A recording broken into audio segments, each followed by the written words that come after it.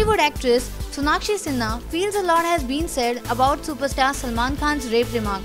And she would rather focus on the real issue. This uh, this film has a tagline no one will be forgiven and recently uh, Salman Khan has made a comment जिसकी वजह से बहुत बड़ा issue सा, सामने आया. So what do you want to say about that whole controversy issue I के think बारे में? too much has already been said about it, and there's too much focus and attention already put on something that should not be garnering so much attention.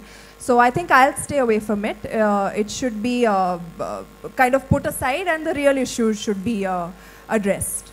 Salman had courted controversy when he compared himself to a rape woman while talking about the physically grueling shoot of Sultan. So for six and a half, seven hours, either I'm picking up and I'm throwing, or he's picking him up and he's throwing.